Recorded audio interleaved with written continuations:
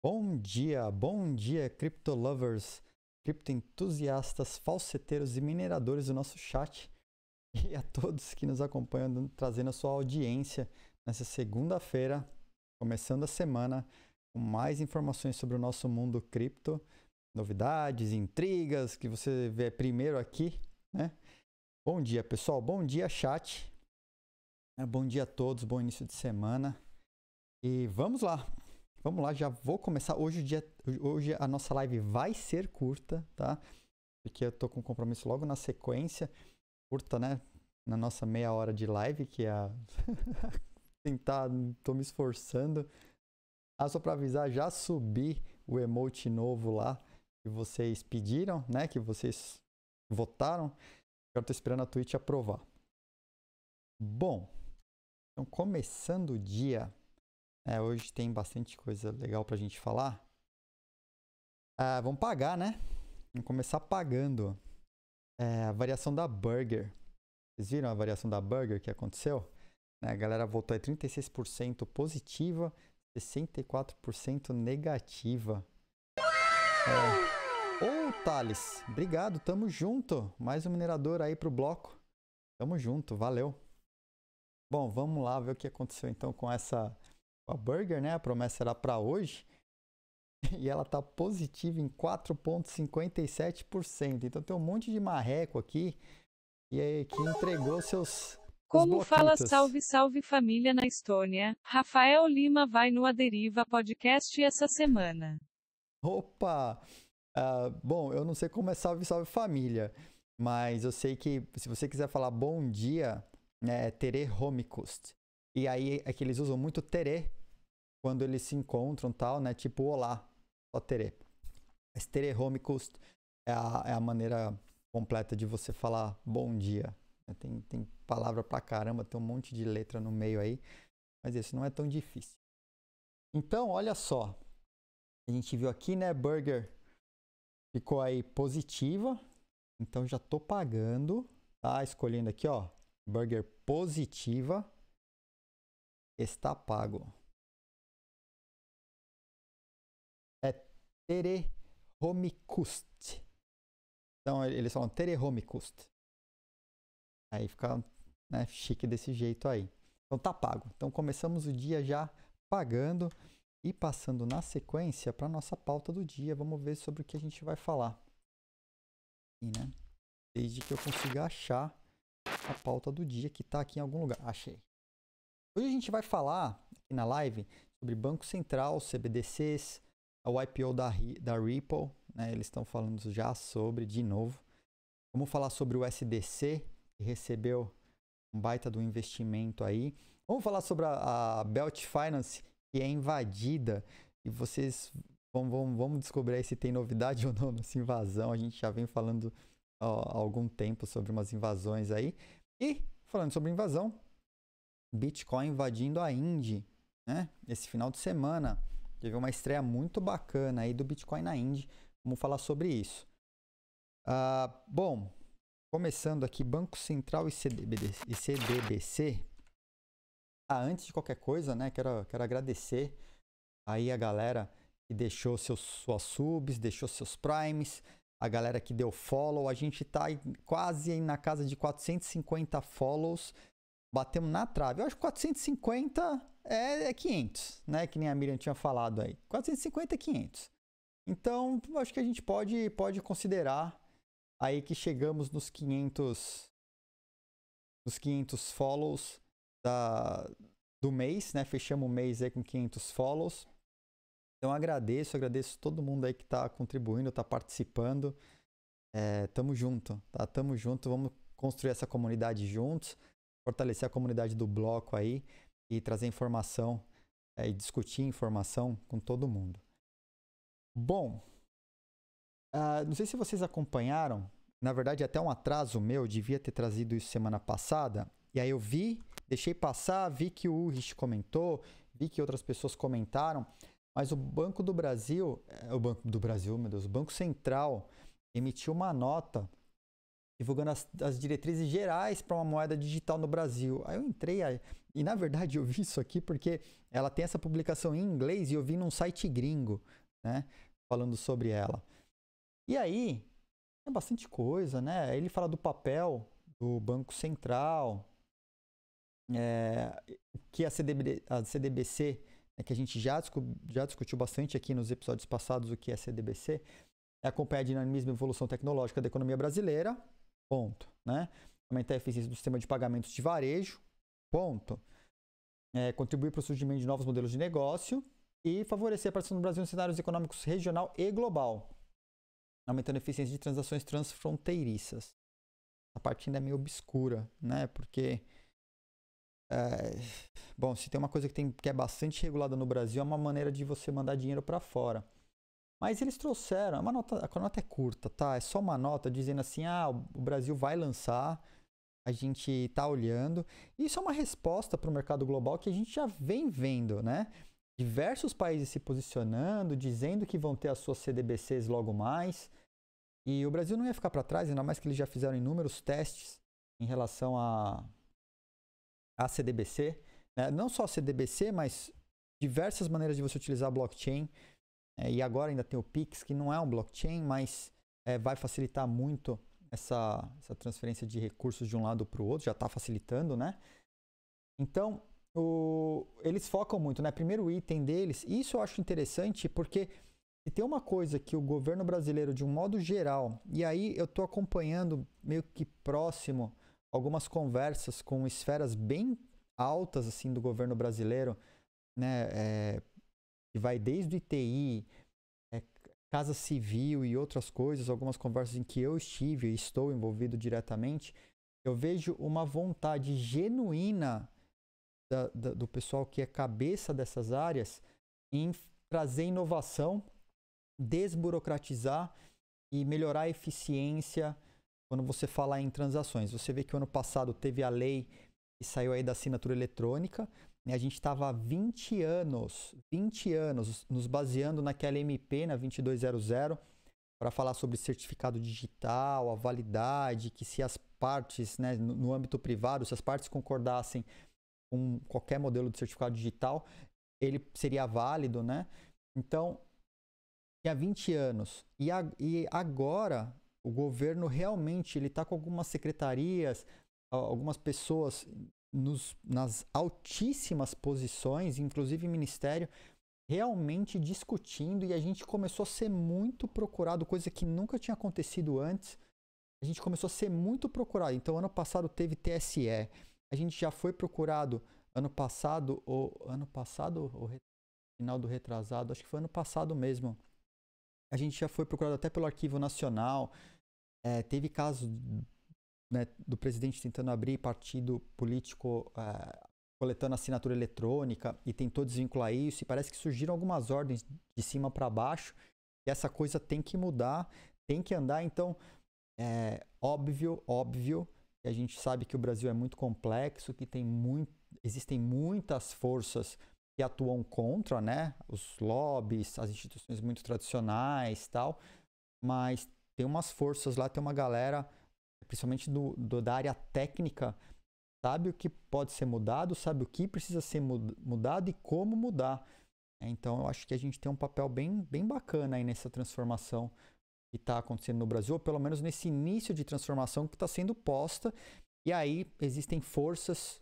Ah, estamos na, estamos na Estônia pelo, por causa dessas forças, né? Mas é, tem, tem alguma coisa acontecendo lá nessa área de desburocratização, transparência tal. E parece que tem uma galera lá muito, muito afim de fazer a coisa andar. Então, vambora, conta com a gente. Né? A gente já vem trazendo a discussão, inclusive numa reunião que a gente teve semana passada. Falou, pelo, me pelo menos, no mínimo, no mínimo, a discussão quem estabeleceu foi o Original Mai.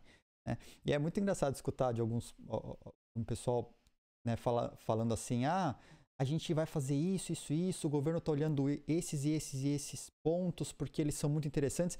E aí são coisas que o Original Mais já colocou há seis anos atrás no mercado. Né? Então, de alguma maneira, as sementes que a gente plantou, a gente não precisa, a gente sabe que não vai ter crédito por várias coisas que a gente fez.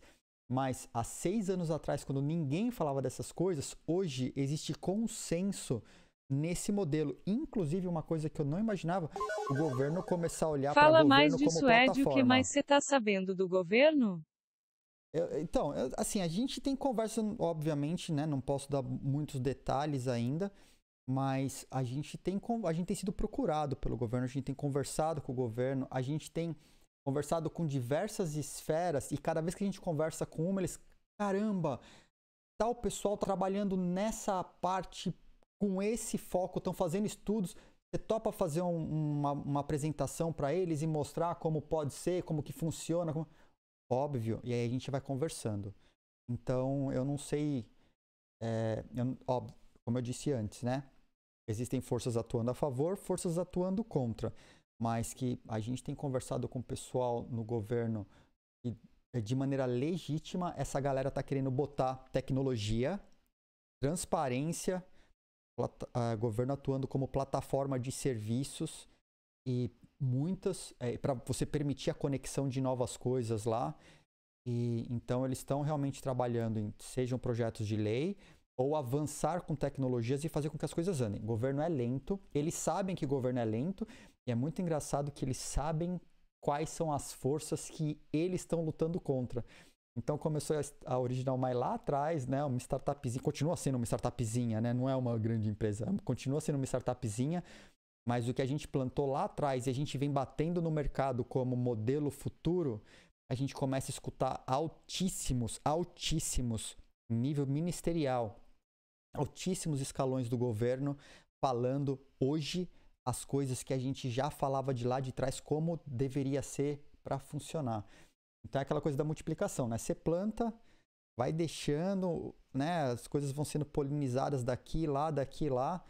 É, eles, como eu disse, né? A gente não, não, nunca vai ter certeza se tem a ver com a gente ou não, mas que fomos os primeiros a trazer esse tipo de inovação para o Brasil, isso eu bato no peito e fomos, né? E essa transformação, quem tá, a gente começou a tocar bater muito forte e lutamos bastante contra certas forças aí que tocaram a gente do país. E é engraçado, né? O governo vira pra gente às vezes e fala: Poxa, que pena que vocês tiveram que sair do país. Mas aí eu volto, né? Falo, até que foi bom, porque fora do país eu tive mais clareza do que pode ser mudado e a gente aplica e traz de volta, né? Então, é isso aí. Bom, continuando aqui, né? A gente desviou um pouquinho.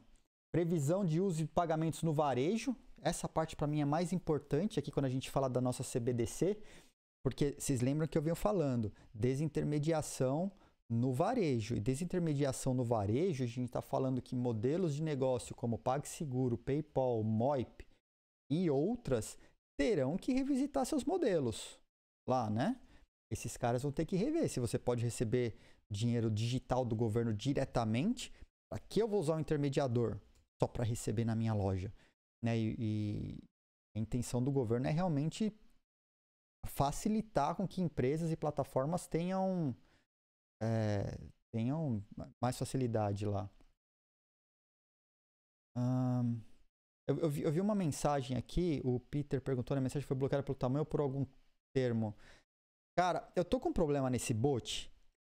O, o bot ele taxa, ele tem, um, ele tem umas configurações, eu tentei acertar, mas eu acho que não tá bom ainda. Eu vou revisitar o bot lá de novo, porque ele, ele taxa umas mensagens grandes, taxa quem não é VIP e um link, né? É, link, mas subs subscriber pode ter link, eu sei, então acho que isso aí não seria um problema para você. Mas eu vou, eu vou checar de novo o bot e ver se eu consigo liberar. É configuração, eu preciso achar a configuração é, certa disso aí. A mensagem que o, que o Peter mandou, né? Uma pena que o Estado é monopólio. Isso corrói a estrutura de incentivo à prestação de um bom serviço. Não sei se acredito mais na tese de desburocratização ou na tese de controle. Cara, são duas balanças que, assim. Governo é governo, governo gosta de controle. Eu acho que é uma premissa, tá? Isso tem um lado.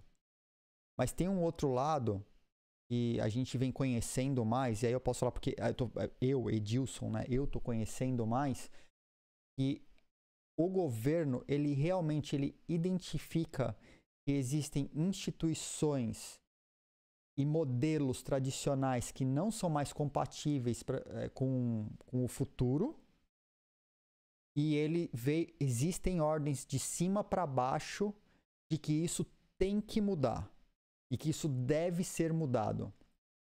E estão correndo com isso, é coisa que continua, não é uma política eleitoreira. Isso eu sei porque eu tô falando desde, desde que as eleições aconteceram, o povo vem me caçando e perguntando e eu venho instruindo e passando informação da melhor maneira possível, né?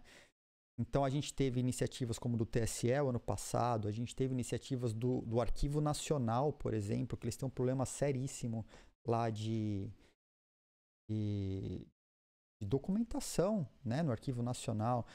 Caras, é, você tem questões, e agora com assinatura eletrônica avançada, abre-se um novo leque de comunicação com o governo, porque, pasmem, o governo identificou e, e de, finalmente, né, de cima para baixo, que o certificado digital no Brasil não está funcionando. Isso eu acho extremamente positivo, né? Porque, o, embora o governo tenha estabelecido como funciona, tem instituições que se apropriaram do modelo, né? E aí o, a coisa é lenta e cara, por interesse de algumas coisas que estão no meio e foram mal regulamentadas há 20 anos atrás. E os caras estão trabalhando. Os caras estão trabalhando. Vou te falar que tá, tá andando. Então pode ser que a gente veja coisas melhorando. Na velocidade do governo, de novo, na velocidade do governo brasileiro. Mas é um movimento que eu nunca tinha visto antes. Eu tenho minhas críticas. Quem me conhece sabe que eu critico o governo pra caceta. Tá? Eu tô meio tranquilo no Twitter agora, mas meu Facebook, até o fecharem, cara, eu, eu, eu, sou um extremo crítico do governo atual, dos governos anteriores, desde o mensalão do Fernando Henrique. Né? Eu, cara, eu venho, eu bato forte. Mas eu acho que quando uma coisa legal está acontecendo, acho que eu tenho que falar também. E eu tenho visto uma transformação no, do, do âmbito digital para desburocratizar e agilizar as coisas para o cidadão. E tem pessoas legitimamente empenhadas nesse, nessa mudança lá. Ah, bom, eles uh, já dizem, né, não vai ter remuneração por essa moeda, então acho que eles já já desmistificam, né? Ah, fazer stake da moeda brasileira, a moeda ganha valor? Não, não vai acontecer. Acho que isso aqui é uma resposta para é uma stablecoin, né? Tudo bem, é uma, de qualquer maneira é uma, é uma moeda é, é, programável. O que vai estar por trás dessa moeda a gente não sabe ainda no protocolo. Voltando à parte do controle, eu acredito que sim, ela vai possibilitar muitos outros controles, inclusive quando falarem, não, a proteção de dados nem tanto, mas na parte de KYC, provavelmente acompanhamento de transações, né? Aquela coisa do anti é, para usar antiterrorismo, lavagem de dinheiro, né? Financiamento de terrorismo, financiamento por proliferação de armas de destruição em massa. Então, é, isso, isso é ok, isso já sabia, isso a regra brasileira já ia pegar de qualquer maneira. Então, é legal, é legal o mercado, o, o, o BC ter falado sobre isso. Um, um grau no microfone que está um pouco baixo. Vamos dar um grau no microfone que está um pouco baixo. Eu não vi onde veio essa mensagem. A Miriam me avisou aqui. Saiu em algum uma mensagem de vocês aí. Tá? Ah, tá ok, tá? Vamos lá. Eu aumentei aqui o volume. Então, acho que pode ser que esteja melhor. É que, assim, eu. Só um parênteses, né? Eu sou, eu sou músico. Eu trabalho com mesa de som há muito tempo. Uma das regras é assim: você tem a, a barra de volume. E, cara, a galera adora o som batendo no vermelho. E som batendo no vermelho significa que o pique começou a cortar o áudio. Tá no limite. Idealmente, Flag ela fica dentro do verde. Opa, ô Peter, valeu, valeu Peter. Valeu, valeu uma sub aí. Alguém que foi presenteado com uma sub aí. Mais uma. Flag Gifted tira um súbito teme underline imortal. legal, legal. Valeu, Peter. Acabei de ver que foi uma pá de sub. Obrigado. Obrigado pela força. Tamo junto. Flag Gifted tira um súbito Flávio Underline Paranaiba. E tem mais uma aí, tá? Do, pro Gabriel, se eu pouco me engano. Se eu vi a mensagem certa aqui. Vai ou não vai? Foi, entrou. Beleza. Flag Acordou todo mundo aí tira com a nossa sirene. Valeu. Tá? Bom, pa- parabéns aí, Imortal, T1000. T1000, caraca, o cara é Exterminador do Futuro. T1000, Pump, Flávio, Gabriel. Flag Todo mundo, chuva de Gabriel presente. Obrigado, Peter. Valeu a força aí. Galera, vocês foram presenteados. Então, continuando a saga do dia aqui. Ah, voltaram minhas minhas teclas de atalho. É, bom, então a gente estava falando do Banco Central. E aí, a nossa querida amiga Ripple, né? Eu acho que eu já já venho falando da Ripple há algum tempo, talvez não diretamente aqui no programa, eu devo ter comentado alguma coisa, mas a Ripple, o, o CEO da Ripple, né? Os fundadores da Ripple foram caçados aí pela SEC, pela SEC, que é a CVM americana, porque eles dizem que a, a Ripple te- teria ofertado valor mobiliário. Os caras estão na briga lá dizendo que não é valor mobiliário e estão colocando lá suas, suas, suas argumentações na justiça, né? Mas a questão toda é que aparentemente esses caras usaram alguns agentes para promover Ripple. E na, na no Howey Test, eu acho que a gente falou sim aqui na, eu falei disso sim, até mostrei alguma coisa do Howey Test. O Howey Test, ele pega esses caras num ponto onde você não poderia utilizar terceiros para ajudar na promoção e faria com que o valor da moeda aumentasse, que isso poderia transformá-la automaticamente num, num valor mobiliário no Brasil, né, num security. E os caras fizeram, e, e parece que os- o governo lá, esse, quando eles entraram, fizeram esse processo aí, a SEC fez o processo, os caras estavam bem munidos de, de evidências disso. E, cara, é uma coisa bizarra, assim. É um. É, os caras ofereceram 1,3 bilhões, esse seria mais ou menos o valor da multa. Os caras estão para para receber. Então tem uma. Assim. A Ripple continua, então isso não, não desenrolou. Os caras. É, quem né, saiba que quem gosta de Ripple, saiba que ela é extremamente centralizada, provavelmente uma das coisas mais centralizadas que a gente tem até o momento. Mas, os caras lá na Consensus falaram que assim que a treta né, da SEC tiver resolvida, eles vão, vão, vão fazer o IPO da empresa. Então, basicamente é isso que eles falam lá, que o, a, a Ripple vai fazer o IPO, mas eles têm que resolver essa treta primeiro. E não é pequena. tá? A gente tá falando de 1.3 bi. É, é, é dose, tá? O, o- óbvio que os sócios eles vêm a público a todo momento e falam, não, pode ficar tranquilo, tá sendo resolvido, ou já tá resolvido, né? Tá de boa. Se procurar né, os posts dos caras lá, mas é, a coisa não, anda, não é assim, tá? E a SEC, realmente, na última nota deles, eles disseram que tiveram evidências muito fortes de que Ripple pode ser enquadrado como security. E aí, meus amigos, é uma multa que é difícil você ter grana para desembolsar assim na buena, né? A Ripple é detentora, acho que é 60% ainda da, da, da- das moedas estão sob custódia ainda da instituição. Você fala, ah, Ripple vale tanto, né? Subiu tantos centavos, vale tanto, mas os caras têm 60% de todas as moedas com a instituição, né? Para você botar um nó da Ripple, você tem que pedir autorização para os caras, eles têm que te cadastrar lá, não é tipo, ah, vou rodar um nó. A Exchange quer botar Ripple, tem que pedir autorização. Então, bastante centralizada. Eu tenho muitas preocupações ao redor da Ripple, ao redor da Stellar, né, que já foi briga entre os caras, saiu, virou Stellar. Stellar também tem uma cadeia de centralização gigante, né, saiu do ar esses dias, tá? justamente porque grande parte dos nós ficam sob custódia dos caras. É como eu disse aqui, fiz aquele projeto dos bolos. Meu Deus, esqueci. o Bolo. Bolos Antiblock. Do bolosantiBlock.com.br. Aquele, aquele, aquele projeto para ver se você tomou block de alguma autoridade do governo, né? São 600 autoridades lá sendo monitoradas. Você tomou bloco no Twitter, você ganha um bolo, um NFT bolo, né?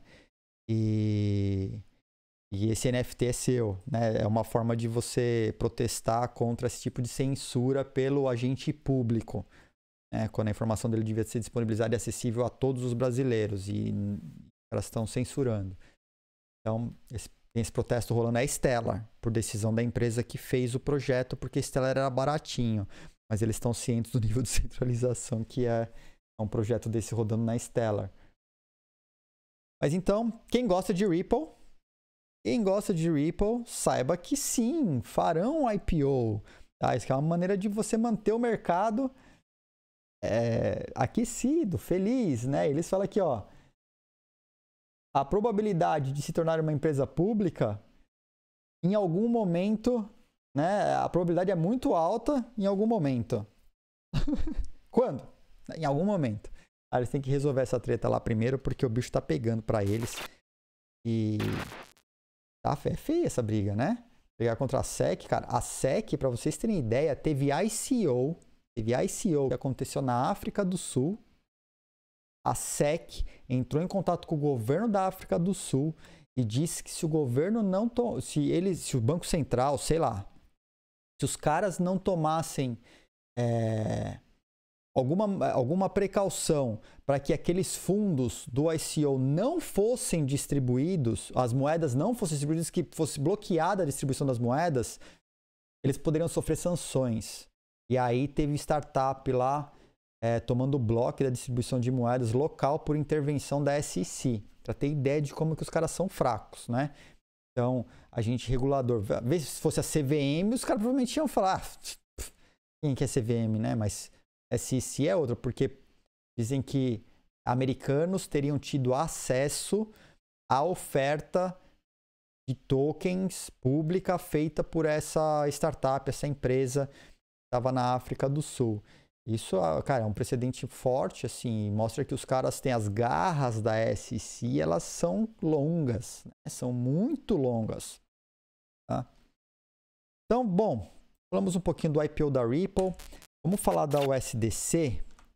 A USDC, se vocês não sabem, é a stablecoin da Circle.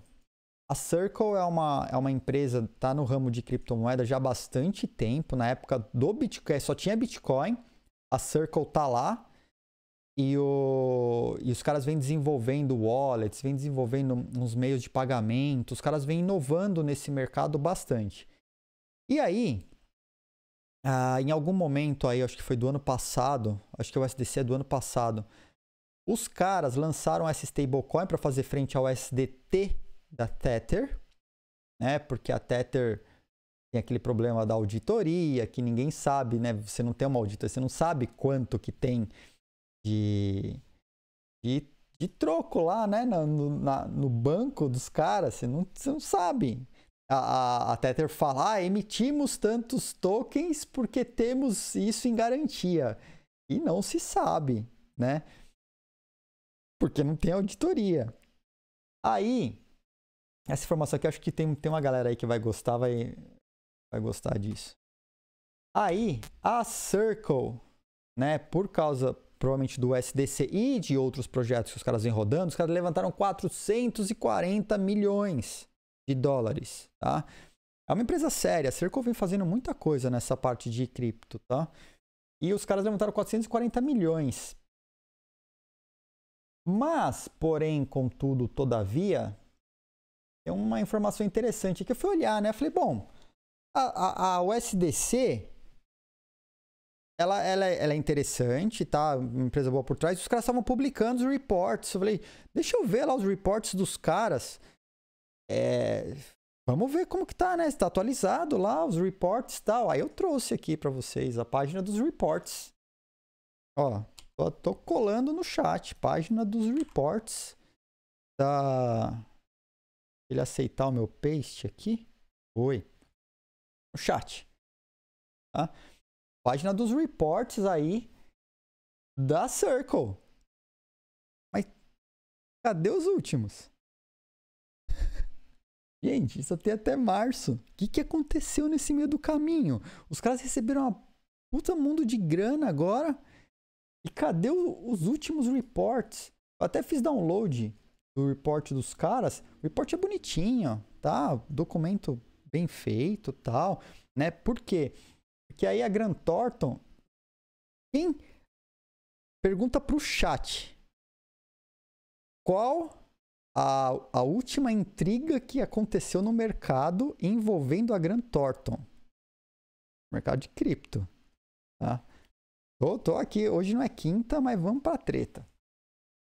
Então vamos lá, a Grant Thornton, no caso da Circle e o SDC, os caras fazem o trabalho de contabilidade.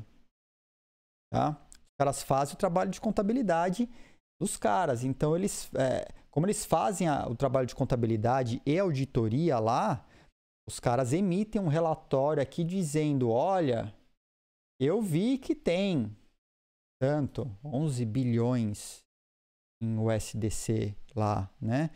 Os caras têm tantas moedas e tem uh, o dinheiro uh, guardado em custódia que é igual, é no mínimo igual ou maior do que os tokens é, colocados no mercado. Tá? Então, legal a Grant Thornton fazer esse relatório, só que o deles aqui é um relatório realmente porque eles fazem o accounting, né? Os caras, é, os caras fazem o, o, a contabilidade lá da Circle. É legal. Então, a todo momento os caras devem ter acesso direto a esses fundos dos caras, devem ter acesso à conta bancária e saber o que tem lá para poder assinar, porque a bucha é grande, né? Mas aí quem acertou SEGT é isso aí. Quem não sabe, a gente tem uma, uma velha história aí no Brasil, mal resolvida, mal resolvida, né, da Atlas, e diz que foi feita auditoria e foi feita auditoria pela Grant Thornton. E a Grant Thornton emitiu um documento, um relatório chamado PPA, não é uma auditoria, não foi feita uma auditoria, tá? Foi feito um processo onde a, Atlas mostrou os valores e eles registraram o que eles teriam visto lá, tá? O que eles teriam visto. Então eles fizeram os acessos, tudo, não foram os caras auditando. E aí, tanto é que tem um post aqui, inclusive da Cointelegraph, onde eles apresentam todos os documentos do processo lá né, com a CVM, inclusive o conteúdo, um desses anexos é o documento Nexo 5, que no meu computador, por algum motivo, não está carregando agora, mas eu tive um probleminha no computador cinco minutos antes da live e desapareceu, mas estava aqui, eu queria mostrar para vocês. E o pessoal da, da Grand Torto, inclusive, fala né, que esse documento não deve ser é, posto a público, é, isso não é uma auditoria, a gente está só é, confirmando o que vocês mostraram para a gente. Basicamente é isso. Depois eu vou pôr o link lá, quem quiser entrar e baixar do, o documento, vou até colar aqui já para vocês, tá? Só para ficar na mão aí, tá, tá na mão do chat, que eu sei que depois quem estiver assistindo consegue entrar e ver. É até uma coisa que eu tenho que e fazer com mais frequência. Então esse esse a, a, diferença, né? A Grant Thornton na Circle eles fazem auditoria. No caso da Atlas, eles não fizeram uma auditoria. Tá? São processos totalmente diferentes e deixaram isso claro no documento, que vocês podem entrar aí, baixar e ver por conta própria. Mas, cara, que vergonha, né? Os caras terem atestado errado aí 15 mil bitcoins. Ou já testaram certo, o que, aconteceu? Está na justiça. A gente só pode trazer pergunta, respostas. É, tem, tem insinuações, existem várias. Né? Achismo, aí tem de sobra no mercado. Espero que se resolva, porque teve uma galera que acreditou muito no que os caras fizeram e eu acho extremamente injusto com quem botou dinheiro lá. É, não, a gente não, não vou sapatear em cima, dizendo, ah, coloca, colocou o dinheiro no lugar, é centralizado, tinha que perder. Não, não é assim que funciona. Tinha uma proposta e assim, eu falo por mim. Espero que vocês sigam o que eu sempre falo aqui: não deixem seu dinheiro onde você não tem controle sobre as suas chaves. Se você deixar o dinheiro lá, suas criptos não são suas. Mesma coisa com o dinheiro em banco. Deixou dinheiro em banco, o dinheiro não é seu.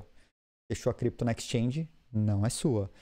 Eu vou sempre falar, tá? Mas cada um faz seu juízo de valor e põe o dinheiro onde quiser, né? Colocou no lugar, corre o risco disso, como aconteceu. 2019 foi um caos no mercado brasileiro, um caos no mercado brasileiro, né? Porque inclusive outras empresas colocaram dinheiro na Atlas. Quando a Atlas parou de pagar, o negócio vem cascata. Aí você teve hacking, você teve um caos, tá? 2019 o mercado brasileiro sambou na mão dessa galera que tinham big exchange, se diziam, sei lá, exchanges com volume de negociação maior do que a Binance, por exemplo. Brasileira, brasileira, porque os caras são bons, era puro mérito. Hashtag sarcasmo, tá? Então é isso. Tá? Só queria deixar um momento intriga da segunda, tá? para vocês poderem olhar os, os, os, acontecimentos aí. E, bom, assim, a Grant Thornton ela é grande, ela é globalmente, fam... ela é global, é famosa. Tem Grant Thornton aqui na, aqui na Estônia também, né? Elas não são baratos, faz um baita de um serviço de contabilidade, auditoria muito bom. Mas alguém comeu bola em algum lugar aí, né? Isso é, isso é uma certeza que a gente tem, porque olha, algo, algo aconteceu aí que tá fora da, né? Nós humanos, a gente não vai ter acesso a essa informação tão cedo. Tomara que a galera lá que perdeu a grana consiga realmente rever, porque teve gente que depois o dinheiro da família, pôs assim, é, reserva da família, né? A poupança lá. Uma promessa. E, ó, é, promessas. Promessa, a galera que promete coisa aí já viu. Bom, vamos falar de mais desgraceira, né? Então vamos falar aqui de desgraceira divertida, já que, mais novidade, a Belt Finance. A Belt Finance, cara, eu não sei nem por onde começar. A Belt Finance era outro, outra DeFi de Flash Loan da Binance Smart Chain. De novo, eu falei que ia acontecer de novo, que o final de semana prometia, né? É, não é que eu tenho o dedo podre, não. Cara, tem, um, tem, um, tem uma vulnerabilidade lá na rede, lá no protocolo. Eu já falei, não, o cara bota a culpa nas DeFi e às vezes não é só na DeFi. Você tem alguma coisa ali na rede que está possibilitando esse tipo de coisa acontecer e que eles, na minha concepção, tinham que atuar em conjunto para resolver. Não só jogar para DeFi e falar, ah, vocês botaram o programa, se vira, né? Hard fork também acho que não é a solução. De cara, hard fork, se for um motivo técnico, vamos voltar lá. Hard fork para resgatar recursos, tô absolutamente contra, tá? Hard fork para resolver problema técnico, ok, é natural. Se achou uma falha, corrige a falha, forca, aplica e segue a vida. Tá? Isso, acontece, isso acontece em todos os protocolos. Ninguém quer um protocolo com falha. Se dá para melhorar, dá para resolver a falha, bota no ar e vai rodar. Então, outro hack até amanhã. até final de semana, né? Então, olha só. Belt Finance, vítima do Flash Loan ataque. Que está acontecendo na BSC de novo. E, ela, e os caras usaram lá de novo a Pancake. É, aparentemente, ó, usaram Pancake Swap. Cara, eu tenho certeza que os caras sabem onde que tá o perrengue a essa altura. Quantos já são duas semanas que a gente vem falando e vem acontecendo um atrás do outro? Vai acontecer mais. Tá? Então, quem tá aí? Ai, DeFi na Binance Smart Chain. Ó, esperto. Esperto, hein? Principalmente com a com essas que tem token próprio lá para fazer a governança, e a principal manipulação dos caras aí está no valor desse token. Então você entrou, você tem token acreditando que ah, vai ser bonitinho lá, vou fazer grana pra caramba em cima. Tem alguma coisa feia acontecendo ali que não está claro para nós mortais. Tá? Então, esse aqui foi uma perda só 50 milhões só 50 milhões, né? 43,8 em FI e 6,23 milhões em Binance USD, que é a stablecoin da Binance. Só. É isso, né? Bom, teremos. Aguardemos as cenas dos próximos capítulos, porque esse, essa é uma novela que não tá com cara que encerrou. Ou que tá acabando tão fácil. E, bom, bah, óbvio, né? Esqueci de mostrar aqui. Com certeza, já vou até abrir já. Óbvio que caiu o valor da, da Belt Finance, da, da moeda deles, né? Essa Belt, Belt alguma coisa. Mas vamos, vamos, vamos colocar então, vamos falar da Belt para amanhã, né? Teve uma variação, não foi nem tão grande a variação. Acho que a gente pode abrir o plano da Belt e aí pegar aqui contests para amanhã. Estou abrindo e vamos ver como que vai ficar. Então a variação da Belt.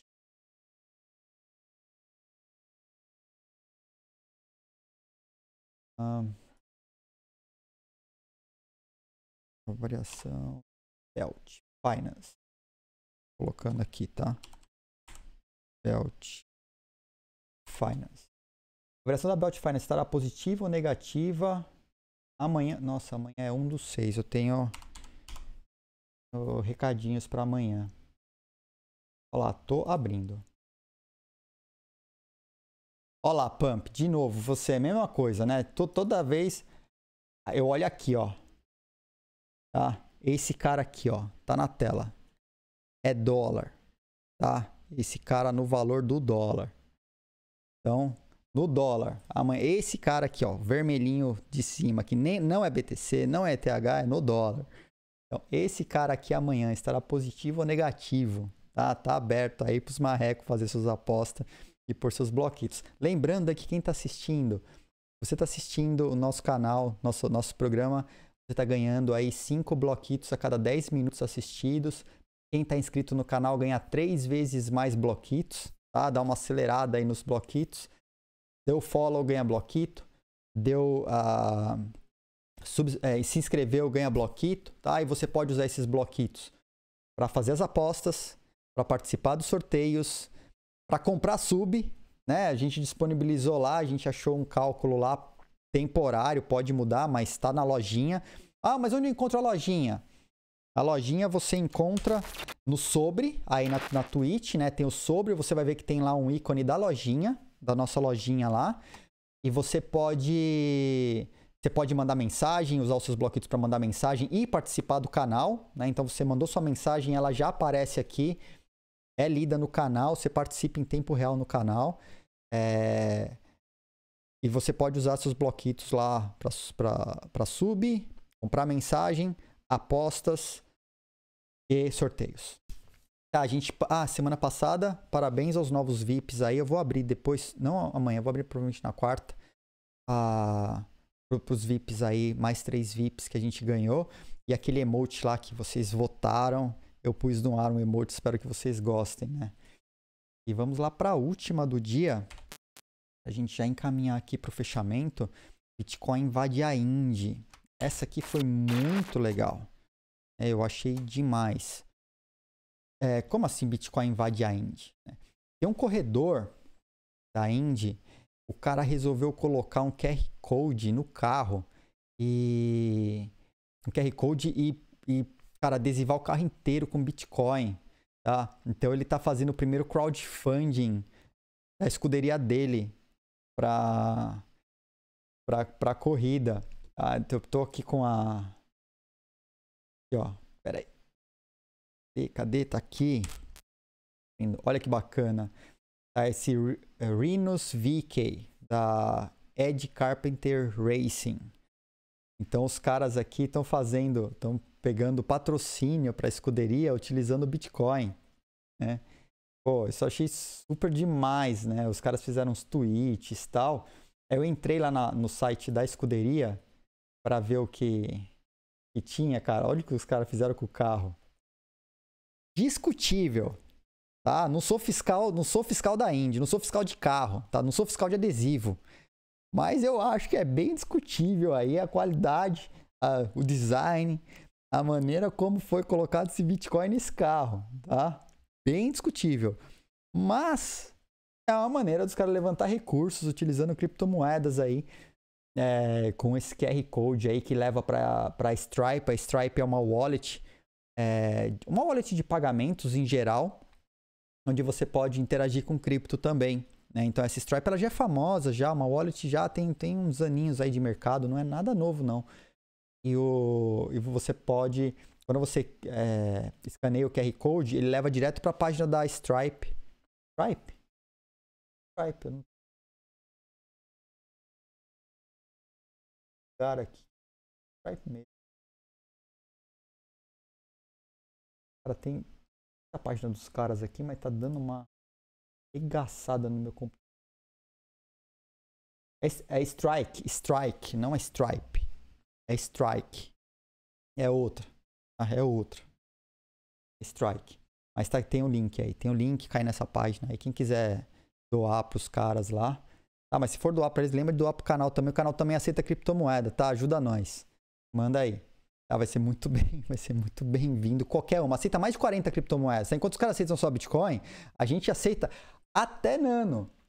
Tá? A gente aceita até nano. Eu acho. Posso estar falando besteira aqui, mas acho que tem nano na lista lá. Tá? É, bom, é, então a gente vai ficando por aqui. Opa, nada, vai ficando por aqui. Esqueci do chat, pô. Cadê o chat? Deixa eu rodar aqui as mensagens do chat aqui. Tem um. Eu sei que passaram umas, umas mensagens aqui. Blockits poderia ter uma carteira Ó, eu não, não consegui subir muito aqui, que a galera tava postando, senão eu vou ficar o resto do dia. Vamos lá. Qual sai do bolo, caso seja block? É, bolos. Eu vou pôr no chat aqui, tá? Bolos antiblock.com.br bolosantiblock.com.br Tá lá no chat. Tá? Site do bolo. Blockits poderia ter uma carteira. Cara, pode certeza que é meu sonho. E não sei quando, mas eu se eu achar uma maneira de fazer, a gente vai colocar, tá? Transformar esses bloquitos em cripto. Por enquanto não dá. O que eu consegui até agora para fazer a brincadeira de minerar os bloquitos assistindo a nossa live foi um meio centralizado aí através de uma plataforma chamada Stream Elements. Mas a gente vai, cara, eu tenho total interesse em transformar esses bloquitos em cripto. Pensei em umas coisas malucas aqui. Ou de repente fazer NFT e fazer por bloquito tal. Eu vou achar alguma maneira de tirar esse bloquito do String Elements. Eu vou, eu vou achar. Pode não ser agora, mas eu vou achar. Tô, vou trabalhar nisso. Já estou trabalhando, né? Eu vivo pesquisando. Eu tive, ó, até para vocês terem ideia, eu fui achar no Algorand, que eu estou em contato com a fundação, a, a Algorand, eles estão em contato com uma empresa, se eu pouco me engano, é na Indonésia, que estava fazendo alguma coisa para streaming, mas os caras não tem nada lançado ainda. É tudo promessa. Sabe aquelas startups que falam, eu vou fazer, aí os caras recebem quilos de dinheiro e a gente só vai ver o projeto daqui três anos? Infelizmente, tá nessa pegada. Mas eu, eu tô procurando meios, mesmo que seja em Algorand, não tem problema para mim. A, Algorand hoje já, cara, tá super bem posicionada no CoinMarketCap. Todas as plataformas do mercado já aceitam Algorand. Então, para mim, não seria um problema. Desde que eu consiga tirar esse bloquito do, do, do String Elements e, e transformar isso, botar numa wallet pra gente. A gente vai achar. A gente vai achar. E se, e se vocês acharem aí, manda no chat, entre em contato que eu vou dar uma olhada no projeto. Se for sério, vamos ver se a gente consegue fazer um bem bolado. Tá? Uh, alguém perguntou de aposta, a Miriam respondeu lá que tem no, no sobre, né? Então, no, na Twitch, no sobre aqui do canal, cara, tem um monte de painel lá. Você tem leaderboard, como que usa os bloquitos, o que usa tal. Então, o Algor é um. Eu vi aí que alguém postou, né? Entrou aí o, o Keyblade. É Keyblade. Keyblade. Keyblade postou. É, o Algor é uma plataforma de aposta. É, uma maquiagem de plataforma de previsões. Tá?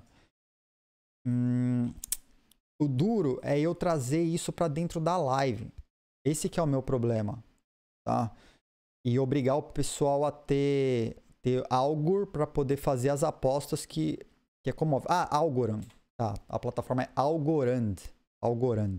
A Miriam colocou aí no chat. Então, Algor é outra coisa. É outra plataforma. Tá, os caras foram achando o meio aí como plataforma de previsões e tal. Parece que agora voltaram para apostas, conseguiram se desvincular lá, não tem problema jurídico mais. E voltou a ser aposta, mas eu acho que é. Acho não, tenho certeza. É uma plataforma de apostas. É... Rota mas tá legal, a ideia é legal.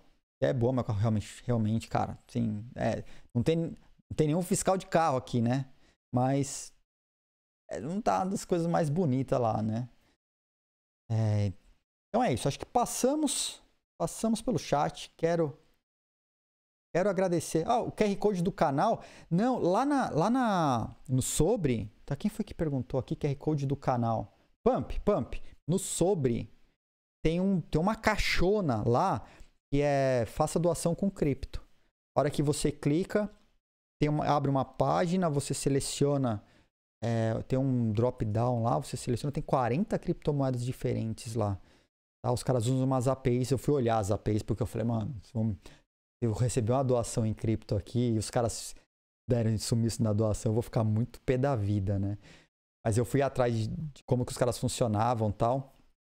Fui no Reddit, fui atrás de gente que estava utilizando, vi que os caras eram sérios e os caras estão usando umas APIs da Coinbase. Achei muito legal o projeto dos caras, assim. E aí cai direto numa conta na Coinbase. Fiz um testezinho lá, mandei cinco conto de sei lá o que, cara, nem lembro o que, que eu mandei. Eu mandei alguma coisa aqui pro canal para testar e funciona. Então, aparentemente tá funcionando lá. E a galera que tá, os streamers estavam usando lá, tá, tá funcionando a ferramenta dos caras.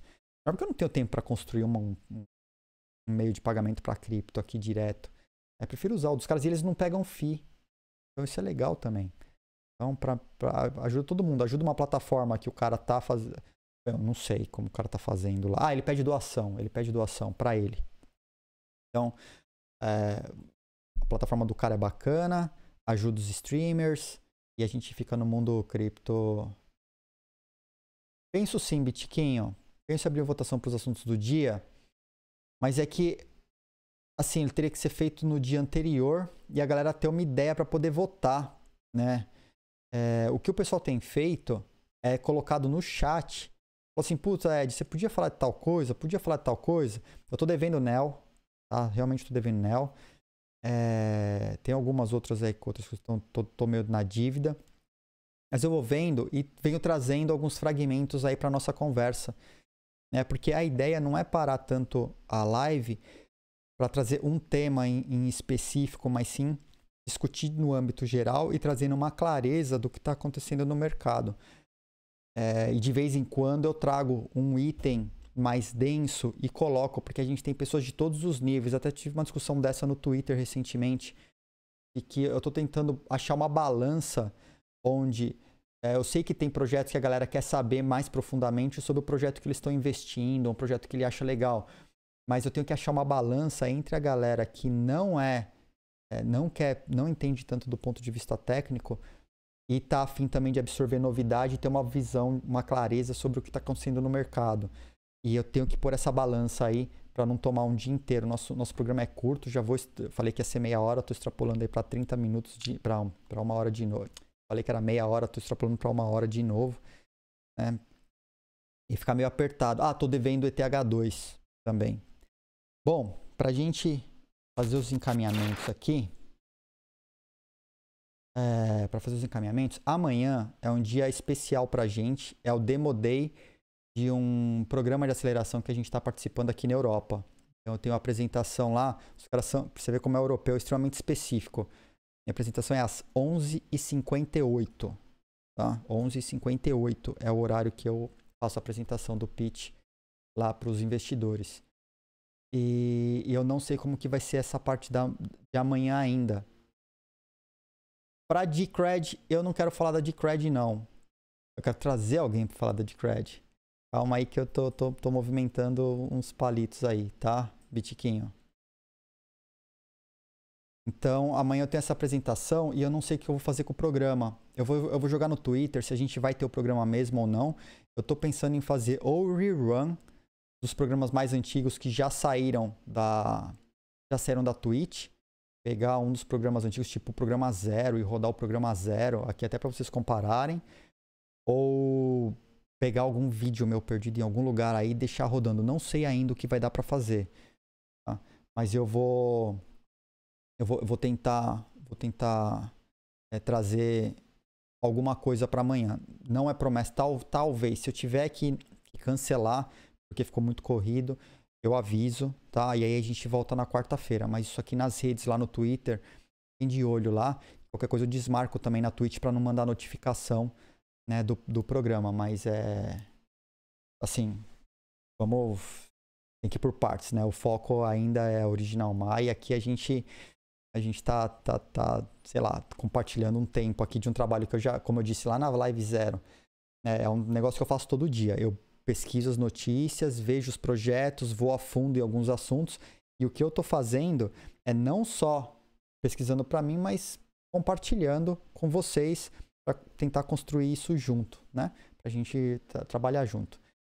Então, amanhã, Demodei. Agradeço a torcida de todos aí, quem está mandando os good vibes.